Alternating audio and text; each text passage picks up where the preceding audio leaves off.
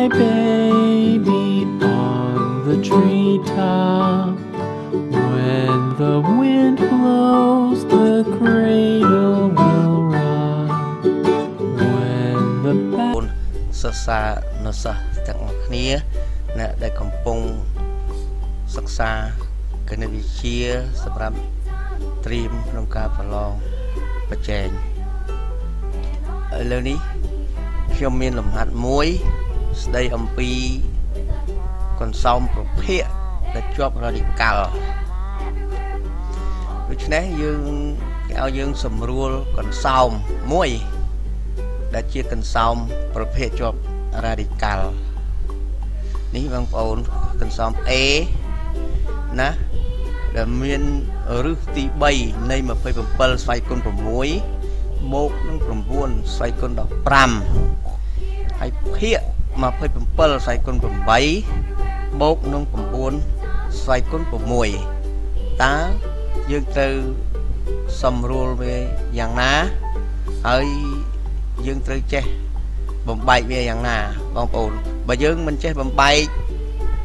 មើលគោលវាទេ យើងសម្រួលប្រភេទនេះអត់បានទេបងប្អូនឥឡូវយើងទៅដំណាក់កាលមួយទៀតឥ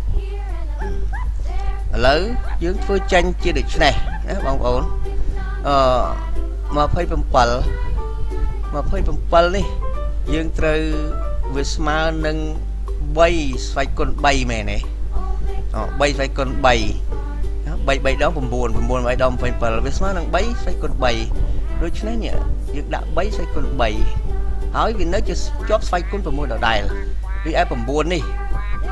ស្មើនឹង3ស្វ័យគុណ2មែនទេ3ស្វ័យគុណ2ហើយវា ជាប់ស្វ័យគុណ15ដដែលភាគអ27ខាងក្រោមក៏ដូចគ្នាដែរវាស្មើនឹង3ស្វ័យគុណ3វានៅតែស្វ័យគុណ8ដដែលបូកនឹង9 9យើងយក3សេគុណ2ស្មើនឹង9ហើយនឹងសេគុណ6ដដែលយើងជីមួយដំណាក់ហើយទៅមួយដំណាក់ទៀតដល់យោងតាមរូបមន្ត a សេគុណ m សេគុណ n វាស្មើ a សេគុណ m គុណនឹង n ដូច្នេះនេះ a សេគុណ m សេគុណ n បងប្អូនមើលមកខ្ញុំដាក់នេះនេះវាវាត្រូវជារៀង a សេគុណ m និងសេគុណ n ហើយនេះដូច្នេះយើងគុណបញ្ចូលគ្នាទៅអាស្រ័យគុណនិងស្រ័យគុណនេះយើងអាចបញ្ចូលបានយោងតាមរូបមន្តអាស្រ័យគុណ m ស្រ័យគុណ n យើងបានស្វែងថាអាស្រ័យគុណ m គុណនឹង n ដូចនេះនេះយើងបញ្ចូលគ្នាមក នេះ3ស្វ័យគុណ8ស្វ័យគុណ6វាទៅជា3ស្វ័យគុណ18អ3ស្វ័យគុណ2ស្វ័យគុណ15ហ្នឹងវាជា3ស្វ័យគុណ30អ3ស្វ័យគុណ3ស្វ័យគុណ8នេះវាទៅជា3 3 8ដង24ដូច្នេះ3សេគុណ24បូកនឹងអ2 6ដង12នេះ3សេគុណ10 12 នេះយើងបានមួយកលៈនេះវាកាន់តែតូចហ្នឹងបងប្អូនវាកាន់តែទៅទៅមួយកលៈទៀតតាមលក្ខណៈនៃស្វ័យគុណដែលមានគោលដូចគ្នាឃើញទេមិញមានគោល3ដូចគ្នាណាបងប្អូនយើងអាចបំបែកវាបានដោយដាក់គោលដែលមានស្វ័យគុណតូចជាងគេនេះជាកតាគឺយើងធ្វើទៅជាផលគុណកតាណាបានអាចសម្រួលបានណាដូចនេះយើងអាចបំបែកនេះ 3ស្វ័យគុណ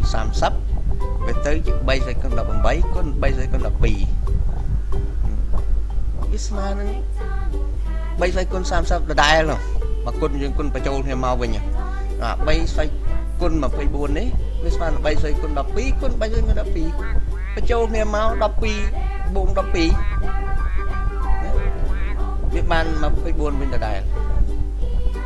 ដូច្នេះយើងទៅមួយកលៈទៀត នាំឲ្យយើងបាន3ស្វ័យគុណ18បូកនឹង3ស្វ័យគុណ30 3ស្វ័យគុណ24បូក3គុណ12យើងអាចនឹងទៅជាអញ្ចឹងណាដូច្នេះយើងលើកនេះលក្ខណៈស្វ័យគុណយើងយកស្វ័យគុណដែលតូចជាងគេជាកតានេះនេះខាងលើនេះវាមានក្បួនវាចឹងដូចនេះយើងយក3ស្វ័យគុណ18ជាកតាណា ដល់យក3ស្វ័យគុណ18ជាកតាអានេះវាមិនសល់មួយអានេះអា3ស្វ័យគុណ30នេះវាមិនសល់3ស្វ័យគុណ12ទៀតយើងបាន1ណាយើងបាន3សេគុណ18កតា1បូក3សេគុណ12អាខាងក្រោមនេះណា3សេគុណ24និង3សេគុណ12យើងលើកយកអីជាកតាគឺ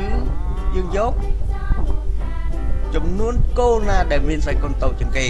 យើងមើលទៅឃើញ3សេគុណ12តូចជាងគេដូច្នេះយើងលើក3សេគុណ12ជាកតានេះហើយយើងលើក3សេគុណ12ជាកតាអានេះវានៅសល់ណាសល់ប៉ុន្មានសល់3សេគុណ12ទៀតអានេះយើងយក3សេគុណ12អស់ហើយវាសល់1ដូច្នេះយើងបានប្រភេទមួយទៀត3ស្វ័យគុណ18កតា1បូក3ស្វ័យគុណ12ភាគ3ស្វ័យគុណ12កតា3ស្វ័យគុណ12បូក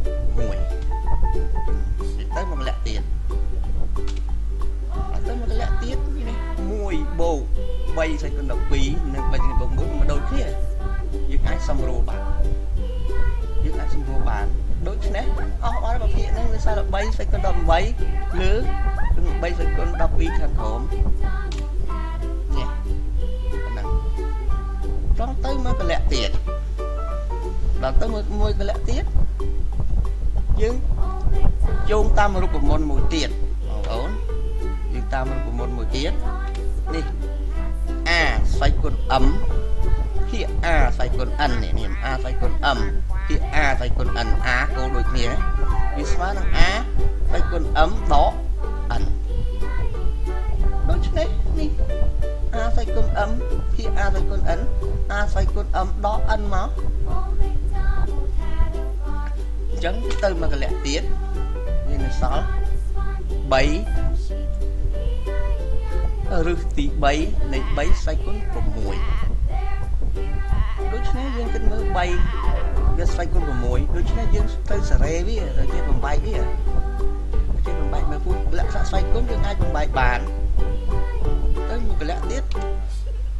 ណាវា3ស្វ័យគុណ6នេះយើងយក3ស្វ័យគុណ2ហើយសូម3 2គុណនឹង3ស្វ័យគុណ2គុណ3ប្រមាណ6ដដែលដូច្នេះយើងបំបែកជា3ស្វ័យគុណ2ស្វ័យគុណ3ដល់បែកទៅវាចូលរៀងវាចូលរៀងណា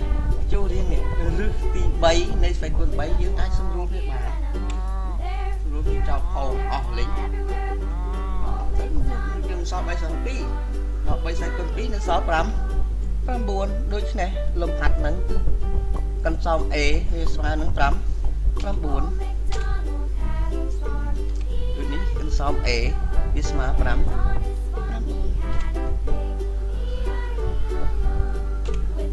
សូមអរគុណបើសិនគិតថាលំហាត់នេះមានប្រយោជន៍សូមបងប្អូនជួយ like ជួយ follow ជួយ subscribe channel របស់ខ្ញុំផងសូមអរគុណ Bye, baby, on the